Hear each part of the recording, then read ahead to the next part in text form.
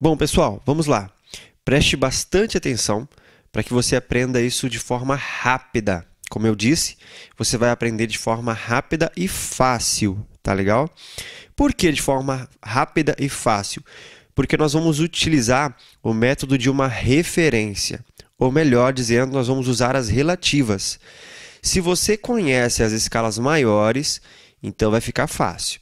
Agora, se você não conhece as escalas maiores, então vai ficar mais complicado para você. Primeiro você precisa conhecer as escalas maiores, para que você já tenha um caminho andado aí. Nada na vida é fácil, né? Quando eu digo fácil, é porque nós vamos usar um método que vai facilitar. Então, o método que nós vamos usar para facilitar é pegar carona com as escalas maiores. Então, se você já sabe as escalas maiores, beleza, vai ficar fácil para você aprender agora as escalas menores. Bom, usando então essa, o pensamento das relativas, se você quer encontrar a escala de Dó menor, você vai fazer o acorde de Dó menor. Só você ver a cifra, como é que faz um dicionário de acordes, você sabe se você estiver iniciando e não souber o acorde de Dó menor, veja lá um, um dicionário de acordes, tá bom? O acorde menor de Dó é esse aqui. Como que eu descubro qual é a relativa de Dó menor? Porque todo acorde. Agora vai uma regra aqui para você, ó, preste bem atenção. Todo acorde menor tem uma relativa maior. E todo acorde maior tem uma relativa menor. Então, o acorde de Dó menor tem uma relativa maior. Qual é a relativa? É a terça. A partir da terça, então, o acorde, que no caso é Ré sustenido, Ré sustenido maior é relativa de Dó menor. Essa regra é para todas as tonalidades. Vamos ver aqui na tonalidade de Lá. Lá menor. É assim que faz. Qual é a relativa de Lá menor? Pega a terça e monta o acorde. Maior é o Dó. Então, o Dó maior é relativa de Lá menor. Ou o Lá menor é relativo de Dó maior. Por que, que é relativo? Repare que eles usam as mesmas notas, ó. Esse é o acorde de Lá menor, e se eu fizer isso, agora eu tenho acorde de Dó. Tá um dentro do outro, né, ó. Eles são semelhantes. Isso em todas as tonalidades. Então é por isso que eles são acordes relativos. Então eu sempre aplico esta regrinha. A terça eu formo o acorde maior. Se eu estou no acorde menor, eu pego a terça e formo o acorde maior. Então ali eu descubro qual que é a relativa dele. Vamos dar outro exemplo. Se você estiver no Si menor. Qual a relativa do Si menor? A terça, que é o Ré. Então é o acorde de Ré maior. Deu para pegar essa sacada? Agora que você entendeu isso, quais são as relativas, você vai descobrir qual é a escala qual é a escala menor? Por quê? Vamos pegar aqui é, é, pelo Si menor. Vou mostrar a escala aqui agora. Ó. Presta atenção, isso que eu estou ensinando para você, isso aqui, o pessoal que, que, que sabe disso não ensina. Não vi isso sendo ensinado nem em curso pago que eu comprei, nem professor que me deu aula. Isso daqui eu descobri por minha conta mas eu vi que outras pessoas, depois eu vi na internet que outras pessoas já sabiam fazer isso, né? Porque tem, às vezes a gente descobre coisas e a gente acha assim, ah, eu descobri. Aí você vai ver já tem outro que já sabe, né? Aí você fica com aquela cara de tacho, poxa, achei que eu tinha descoberto alguma coisa e fui ver já tinha outra pessoa que já sabia antes de mim. Mas beleza. Então assim, isso aqui é uma técnica que vai te ajudar a avançar mais rápido, beleza? Ó, então o si menor Agora eu vou te passar para você achar a escala. O Si menor. As notas da escala de Si menor vão ser as mesmas notas da escala de Ré maior, que é a relativa dele. Então presta atenção, ó. vou te mostrar isso aqui agora. Ó. Si menor, Ré maior. Quais são as notas da escala de Ré maior? É essa daqui, ó.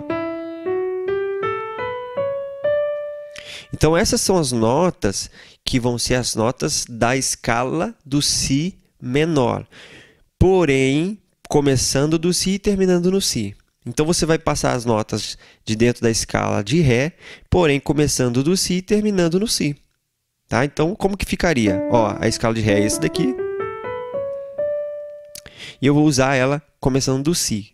Né? Eu passei aqui no final, ó. Então, ó. E parei aqui. Pronto, eu formei aqui a escala menor de Si. Usando as notas da escala maior de Ré.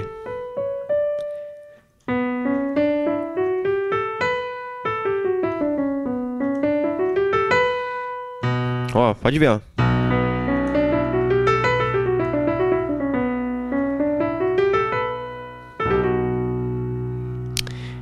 Viu que legal? Vamos pegar outra tonalidade aqui. Ah, antes de eu continuar, para você que está gostando dessa aula, se você quiser estudar e se aprofundar mais ainda no assunto de teclado, piano, harmonia, fazer acordes diferentes, eu vou deixar um link aqui na descrição, que é o link do meu curso para você estudar comigo. Se você tiver interesse, é só você clicar e lá na página você vai ver qual é o material que você recebe, como que funciona esse curso. Lá tem tudo explicadinho para você. E se você ainda tiver dúvida, você pode entrar em contato comigo pelo WhatsApp, que tem lá na página, tá bom? Então é só clicar no link que eu estou deixando aqui abaixo. Então vamos continuar. Vamos pegar em outra tonalidade. Vamos supor que você quer encontrar a escala de Lá menor. Então a escala de Lá menor vai ser as notas da escala de Dó maior só que começando no Lá e terminando no Lá. As, as notas da escala de Dó são essas.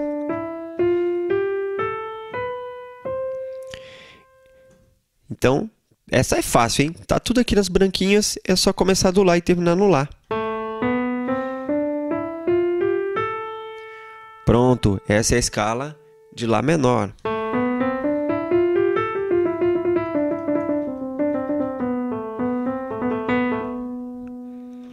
Legal? Vamos ver outra tonalidade. Se você quer encontrar a escala de Dó menor.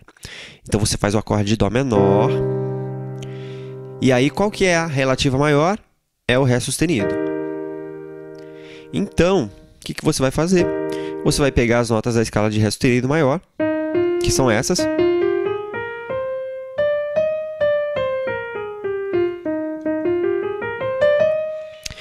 E vai fazer essas notas porém começando do Dó e terminando no Dó.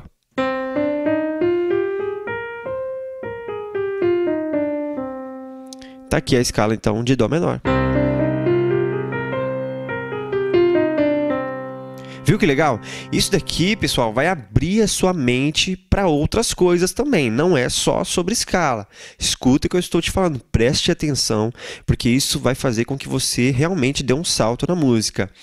E você vai ter mais certeza disso. Você assistir os meus vídeos aqui no canal, você vai ver que eu vou falar sobre reharmonização. Isso daqui, isso, essa aula vai te ajudar demais mesmo. Esse conteúdo que eu estou te passando aqui é um conteúdo de valor demais. Então assiste aí, preste atenção. Ó.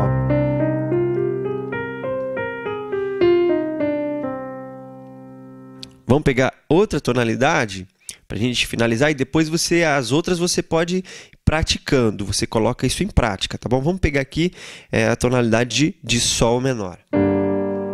Você quer encontrar a escala de Sol menor, então você faz o acorde de Sol menor, você pega a terça e faz maior, o acorde maior, que no caso aqui ó, é o Lá sustenido. Ó. E aí você descobre as notas da escala de Lá sustenido. É aqui, ó. Lá sustenido maior a, a escala.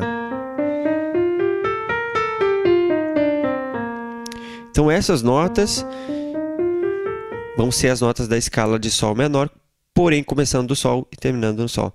Entende isso? Você vai passar por dentro da escala de Lá sustenido maior, só que você vai terminar aqui no Sol. Ó. Então vai começar aqui e terminar aqui.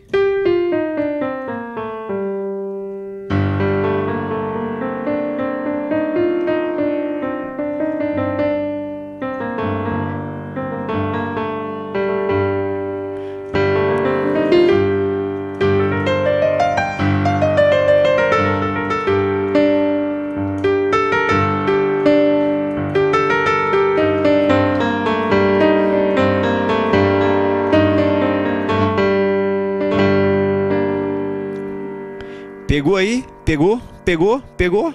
Ah, pega isso daí. Estudando isso, você vai abrir a mente para outras coisas. Então, se você gostou desse vídeo, não se esquece de dar um like aí. Se você ainda não deu o like, por favor, dê o seu like. Eu quero ainda deixar um presente para você aí embaixo. Vai ter um link na descrição com um e-book que eu quero te dar de presente.